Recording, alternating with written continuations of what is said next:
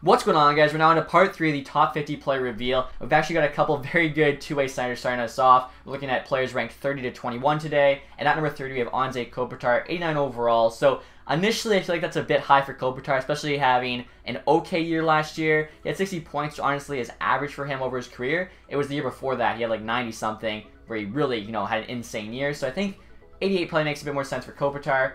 Game face there, though, looks pretty good. So take a look at the stats. 2-way forward, obviously, like we said, one of the better 2-way forwards in the game. 94 face-offs, so quite high face-off rating. 92 defensive awareness, 87 shot block, 90 stick check. So yeah, just an absolute defensive monster. Hands there, all 90 plus. Uh, even the senses, all 90s. Speed's a lot higher than I expected, honestly. I thought it'd be like 85, 86. All 87s with 90 balance, 88 endurance, very good. Shot there, 92 for the power, 90 for the accuracy, 90 strength, 87 body check. So yeah, very good, you know, solid two-way center, and those stats reflect that. I do think it's a bit high, though. I'd probably have him 88, and like I said, I think I might lower the speed a bit, and possibly even... Face-offs at 94 is really high, because I think O'Reilly's better. We'll see what O'Reilly has here. Quick look at the game face there. Not too bad. 89 overall, I think, well-deserved after winning the Conn Smythe Trophy, helping lead uh, St. Louis there through the playoffs. And he's got also 94. Okay, so they're tied. So what was it? Drew had 95, um, somebody had 93, I forget who. A few moments later. It was Taze. Taze had 93. So I'm definitely liking the higher face-off range this year. Good to see uh, Kopitar doesn't have higher than O'Reilly. I think, honestly, O'Reilly could probably even deserve a 95. His defensive stats are actually, I think, even better than Kopitar's. 93 D awareness, 93 stick check, 89 shot block. Like, that's insane. He's a bit slower, though. 85 speed and excel, 86 agility. I'm not sure if he's that much slower than Kopitar. Like I said, I think Kopitar's speed should have been more like that. Discipline, 95. Dude never takes a penalty. I think that's tied for the highest discipline in the game. Hands are all 90 as well, except for deking 89. Close enough. Shots a bit lower than Kopitar as well. All 88s there with 89 wrist shot power. 89 strength, though. 86 aggressiveness and body check. So, again, a very good two-way center. A bit slower than Kopitar. Better defensive stats. Shot in hands, pretty much identical. A bit more discipline as well on O'Reilly. I think Kopitar still had like 90. Yeah, so not too bad. So far, so good. Again, I just think Kopitar is a bit too high. And after that, we actually have a St. Louis Blues teammate here, Terry Tarasenko. So a couple Stanley Cup champions. Uh, game face, I think that looks pretty good, to be honest. Um, so far, these are better, I think, than yesterday's. 89 overall. I think that's very fair for Terry Tarasenko, one of the best goal scorers in the NHL in hockey today. So obviously he's a sniper there. Let's see, his hand stats are insane. 94, 93, 93, 93. I think he has some of the best hands in the game I saw on Twitter. 88 defensive awareness, 80 shot block, 89 stick check, pretty solid for winger. Pretty quick too. I don't think he's quite that fast in real life. 92 speed, excel, and agility, 88 endurance. I think honestly 90 would be the max I give him. Maybe even like 88, 89. He's more of like uh, Ovi, I think, where he's not super fast. He's six foot 225, but he scores, has sick hands, and he's quick enough, right? So I think his speed might be a bit too overvalued. 93 offensive awareness is really good. 85 poise, not too bad. Actually, forgot to check O'Reilly as well had 90 poise, same with Kopitar. So Tarasenko a bit lower there for like a elite player, I guess. Shot though, 94 with shot accuracy. That's unreal. That's gotta be one of the best. And everything else is shot is 90 plus, 87 strength too. Like we said, he's a pretty strong player. In my eyes, he's like the right wing version of Ovi, as Ovi's left wing, right handed. Tarasenko's right wing, left handed, both Russian, both, you know, pretty big. I don't know, that's just how kind of I see it. Next up here, we actually have one of my favorite players, Taylor Hall, ranked number 27, also 89 overall. Unless there's like a 90 here, it might be all 89s again. Looking at the game face there, it looks pretty good. They got like the Taylor Hall kind of no expression, almost sad face down to a T, so good job there. Take a look at his stats. Sniper. For me, Hall's like a sniper or a playmaker. He's one of those guys that can be both. Same with Patty Kane. So hands there, very good. 92 everything, 93 puck control, 88 defensive awareness, 83 shot block, 88 stick check. They give him 75 faceoff, which is nice, as he sometimes does play center, so I wanted him to at least have 70s there. 92 offensive awareness is solid with 85 poise. Skating there, you gotta make sure they get that right. 95 speed and excel, 92 agility, obviously one of the fastest players in the game. So I'm really hoping McDavid is all like 97 plus for speed, excel, and agility, because he's even faster than Hall, and you, you want to see that kind of difference in game. 86 balance, 80 endurance. So kind of like Draisaitl, I feel like endurance is a bit low. Most first-line forwards we've seen have had at least 85 endurance. The fact, you know, Hall's is 5 lower, Draisaitl's is 8 lower for some reason, and he was second in the NHL on time on ice, really doesn't make sense. I feel like Hall needs at least 83, 84, and Draisaitl should be 85 if not higher, so hopefully they can fix that. His shot there as well, really good. You can see the wrist shot, slap shot, pretty much both average out to 92s, that's awesome.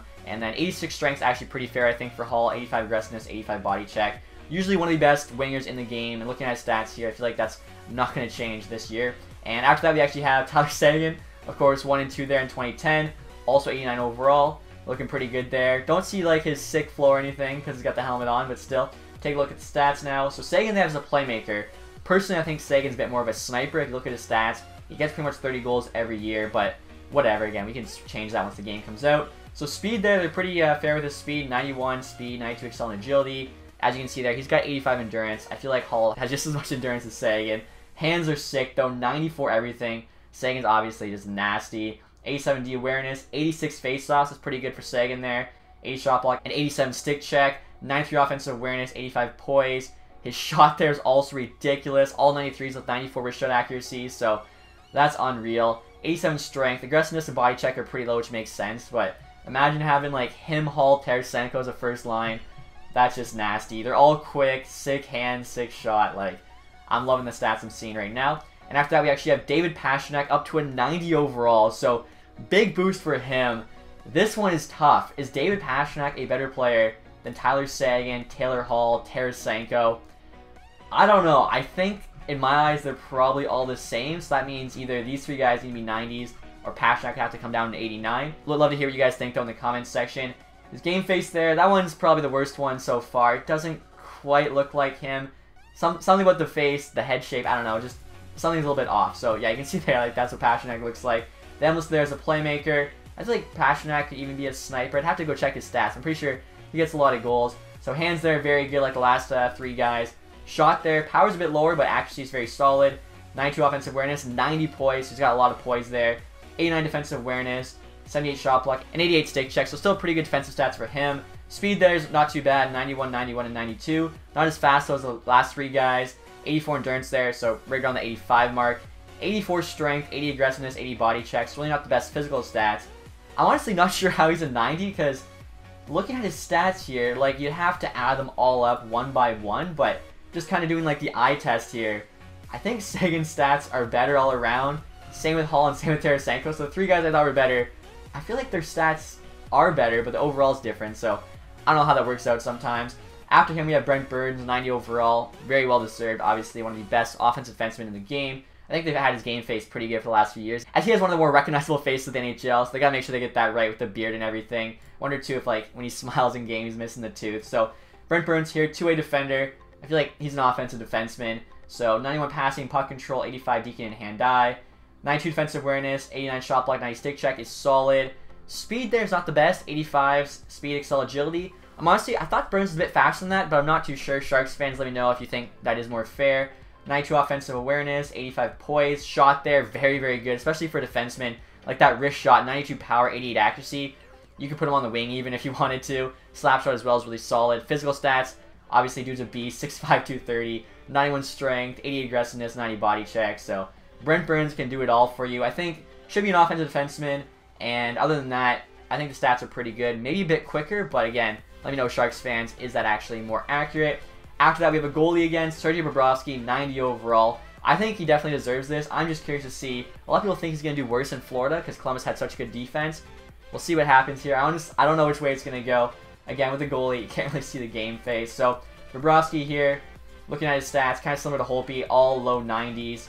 Really don't see much of a difference. It's probably all just, you know, so close. What's his best stat? Glove low 92, rebound control 92, and the rest of it there is like all low 90s, high 80s. Obviously, Bobrovsky, elite goaltender in NHL. Really can't complain with that. And after him, we actually have another goaltender, Tuukka Rask, also 90 overall. You can see a bit of Rask's face there. Looks pretty good. So take a quick look at his stats. I think pretty much every goalie, like that's elite, they just make hybrids. So that's pretty much redundant. Uh, if you guys forget, he was actually a traffic of the Maple Leafs. So looks to be really good, all low 90s. Does he have any 93 stats? He's got a 92 rebound control and recovery. Everything else, 92 agility is high 80s, low 90s. Looks to be very similar to Bobrovsky. Pretty similar heights there. So we'll see final player here, number 21, before we get to the top 20 tomorrow. And it's Erik Karlsson, so the other Sharks defenseman there. Just like Burns, 90 overall. I don't know. I feel like Carlson, don't count this past season, I feel like Karlsson's definitely in the argument to be the best defenseman in the NHL. So I feel like 90, I guess because he has a bit of a rough year, is still pretty fair for him. In my eyes, him and Hedman are probably vying for the 1 and 2 spot. So he is an offensive defenseman. Good to see they got that right. His hands there for a defenseman are absolutely ridiculous. Like you saw Burns, Deacon, and Handiver in the mid 80s. Karlsson's got 95, 94. Like, that is ridiculous. I think I saw EA tweet out how Carlson has the best hands of any defenseman in the game, which makes sense. I mean, if you guys remember his sauce passes, everything else, the dude's just a magician. 92 D awareness is very solid, 85 shot block, 91 stick check. Very fast defenseman, 92 speed, excel, agility. 95 offense awareness and 95 poise. That's pretty ridiculous. Shot there, very solid. 90 powers, high 80s for accuracy. Not the strongest guy, but not too bad. 86 strength, 80 aggressiveness, 81 body check. So that's probably what brings his rating down a bit, the physical being so low. But dude's the best offensive defenseman in the NHL, in my opinion. And looking at his hands there, skating, um, shot, even like the poise there at 95. His in-game stats here definitely reflect that. So that's it, guys, for part three here, the top 50 player ratings. Like I said, tomorrow we'll be rounding out the top 20, and then on Saturday will be the top 10. Hopefully you guys enjoyed this video. Would love to hear from you in the comments section what you thought about all the ratings. As always, guys, if you haven't subscribed yet, please do that. If you did enjoy the video, leave that thumbs up. And as always, guys, thank you for watching. Have a nice day. Goodbye.